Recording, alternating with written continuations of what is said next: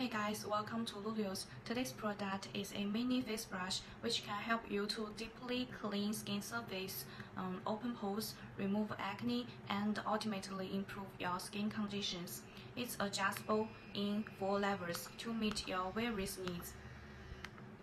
In addition, the charging port is hidden by the silicone material, which gives you better waterproof and safer experience and the cleaning of different partitions is for our different facial areas, such like the coarse hair area on both sides is for cleaning our uh, chin, the T-zone, and the forehead. And the fine hair area is for you to clean our eyes and cheeks. With the skin-friendly silicone material, it's also very suitable for sensitive skin to use. So welcome to order this face brush. Okay, we may stop here about today. See you.